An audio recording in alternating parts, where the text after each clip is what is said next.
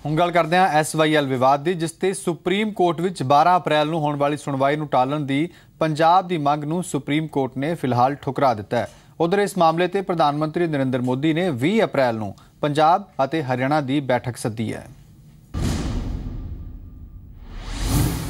Sutlej Yamuna link का मुद्दा court और कोर्ट के बाहर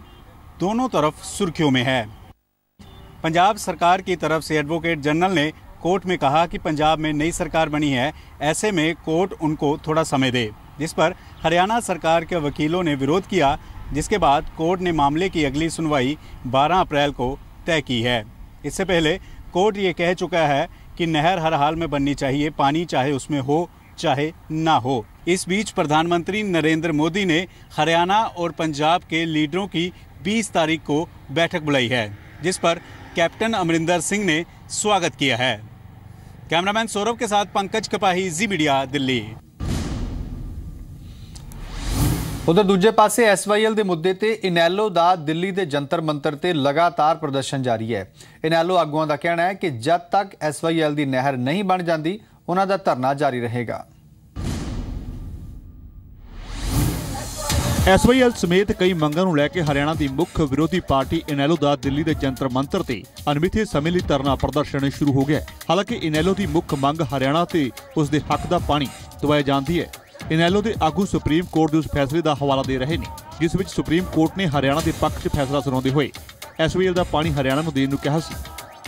ये माननीय सुप्रीम कोर्ट ने पहले भी निर्णय किया है पीछे भी सरकार को हिदायत दी थी कि भाई एस को अब बनवाएं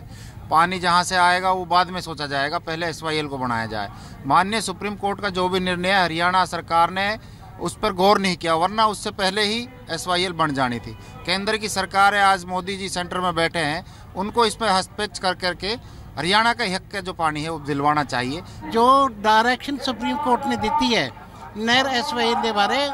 उससे वो अपने लागू करे उसनों। ਇਨੈਲੋ ਦੇ ਮੁਤਾਬਕ ਉਹ ਇਸ ਮੁੱਦੇ ਤੇ ਰਾਜਨੀਤੀ ਨਹੀਂ ਕਰ ਰਹੇ ਬਲਕਿ ਆਪਣਾ ਹੱਕ ਮੰਗ ਰਹੇ ਨੇ ਇਨੈਲੋ ਨੂੰ ਸਾਫ਼ ਕਰ ਦਿੱਤਾ ਕਿ ਜਦੋਂ ਤੱਕ ਐਸਵਾਈਐਲ ਦੀ ਨਹਿਰ ਨਹੀਂ ਬਣਦੀ ਉਦੋਂ ਤੱਕ ਉਹਨਾਂ ਦਾ ਧਰਨਾ ਜਾਰੀ ਰਹੇਗਾ ਅੱਜ ਇਸ ਤਰ੍ਹਾਂ ਰੋਜ਼ਾਨਾ ਹਰ ਹਲਕੇ ਤੋਂ ਇਨੈਲੋ ਦੇ ਨੇਤਾ ਅਤੇ ਵਰਕਰ ਜੰਤਰ ਮੰਤਰ ਤੇ ਹਰਿਆਣਾ ਦੀ ਆਵਾਜ਼ ਬੁਲੰਦ ਕਰਦੇ ਰਹਿਣਗੇ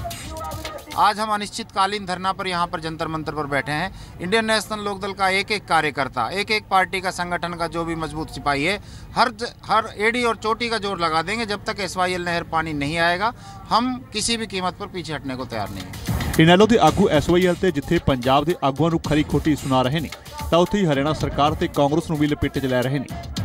ਇਨੈਲੋ ਦਾ ਇਲਜ਼ਾਮ ਹੈ ਕਿ ਮੁੱਖ ਮੰਤਰੀ ਮਨੋਹਰ ਲਾਲ ਪ੍ਰਦੇਸ਼ ਦੇ ਹਿੱਤਾਂ ਦੀ ਲੜਾਈ ਲੜਨ 'ਚ ਅਸਮਰੱਥ ਨੇ